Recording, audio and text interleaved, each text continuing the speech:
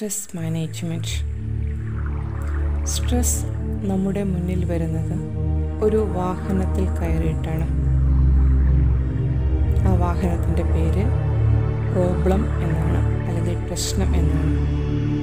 അപ്പോൾ പ്രശ്നമാകുന്ന വാഹനത്തിൽ കയറി സ്ട്രെസ് നമ്മുടെ മുന്നിലേക്ക് വരുന്നു. മുന്നിൽ വരുന്ന സമയത്ത് നമ്മുടെ ഉള്ളിൽ നിന്ന് ഒന്നുകിൽ പോസിറ്റീവായിട്ടുള്ള സ്വഭാവങ്ങൾ ഉണരുന്നു അതല്ല എങ്കിൽ നെഗറ്റീവായിട്ടുള്ള സ്വഭാവങ്ങൾ ഉണരുന്നു. നമുക്കറിയാം ഹ്യൂമൻ പേഴ്സണാലിറ്റി എന്ന് പറയുമ്പോൾ കടലിലെ മഞ്ഞുമല പോലെയാണ്. പത്ത് ശതമാനം വെള്ളത്തിന് മുകളിലുണ്ടാകും തൊണ്ണൂറ് ശതമാനം വെള്ളത്തിനുള്ളിലായിരിക്കും. ഈ പത്ത് ശതമാനത്തിൽ എന്താണോ ഉള്ളത്? അത് നന്മയാകട്ടെ തിന്മയാകട്ടെ അത് മാത്രമേ നമ്മൾ നിരന്തരം കാണുന്നുള്ളൂ.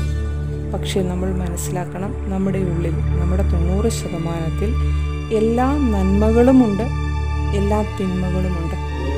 അതായത് മുഴുവൻ പോസിറ്റീവായിട്ടുള്ള സ്വഭാവങ്ങളും നമ്മുടെ ഉള്ളിലുണ്ട് മുഴുവൻ നെഗറ്റീവായിട്ടുള്ള സ്വഭാവങ്ങളും നമ്മുടെ ഉള്ളിലുണ്ട്.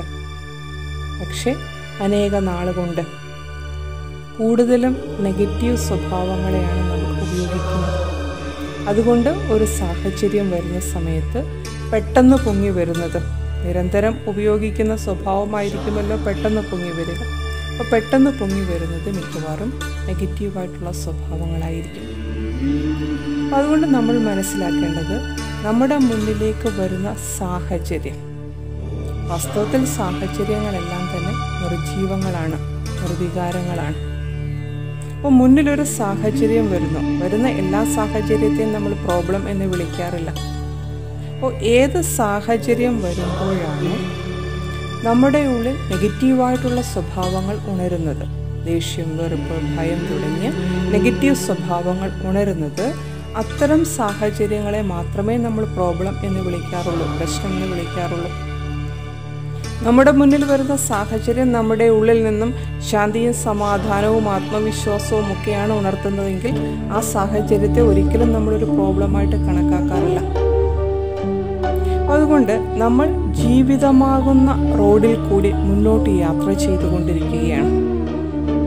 ആ മുന്നോട്ടുള്ള യാത്രയിൽ നമ്മുടെ മുന്നിൽ ആ റോഡിൽ തടസ്സങ്ങൾ വരാറുണ്ട്. ഈ തടസ്സങ്ങളെയാണ് നമ്മൾ പ്രോബ്ലം എന്ന് പറയണത്. നമ്മുടെ മുന്നിൽ ഏത് പ്രോബ്ലം വന്നാലും ഏത് പ്രശ്നം വന്നാലും നമുക്കതിനെ മറികടന്ന് മുന്നോട്ട് പോയെങ്കിൽ മാത്രമേ പറ്റുള്ളൂ. അല്ലാതെ തടസ്സമാണ് എനിക്ക് മുന്നോട്ട് പോകാൻ സാധിക്കില്ല അല്ലെങ്കിൽ കഴിയില്ല എന്ന് പറഞ്ഞിട്ട് നിൽക്കാൻ പറ്റില്ല.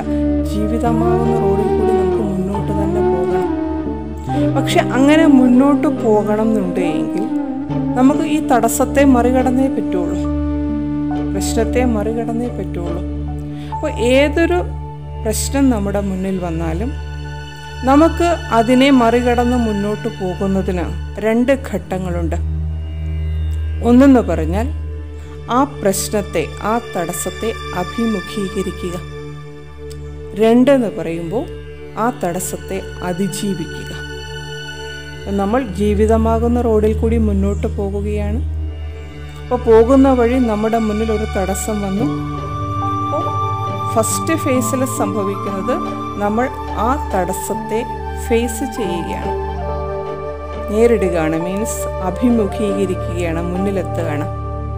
രണ്ടാം ഘട്ടത്തിലാണ് നമ്മൾ അതിനെ മറികടന്ന് മുന്നോട്ട് പോകുന്നത്.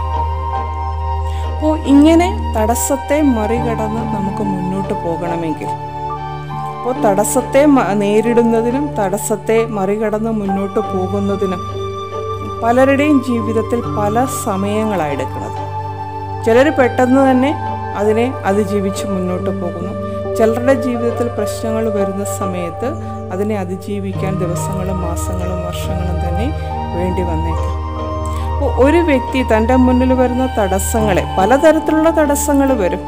പല വലിപ്പത്തിലുള്ള തടസ്സങ്ങൾ വരും. അപ്പോൾ തന്റെ മുന്നിൽ വരുന്ന തടസ്സങ്ങളെ നേരിടുന്നതിന് അതിജീവിച്ച് മുന്നോട്ട് പോകുന്നതിന് എത്രത്തോളം ഊർജം എത്രത്തോളം സമയം അതിന്റെ പിന്നിൽ ചിലവഴിക്കുന്നുണ്ട്? അത് നിർണയിക്കുന്നത് ആ വ്യക്തിയുടെ ലക്ഷ്യബോധമാണ്.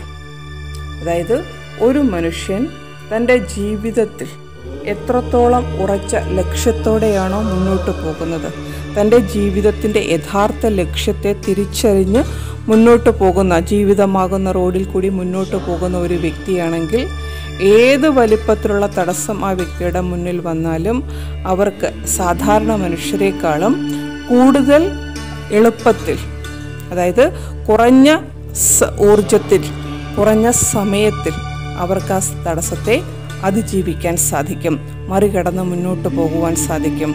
അതിന് നമ്മൾ നമ്മുടെ മനുഷ്യ ജീവിതത്തിന്റെ യഥാർത്ഥ ലക്ഷ്യത്തെക്കുറിച്ച് ബോധവാന്മാരാകേണ്ടതുണ്ട്.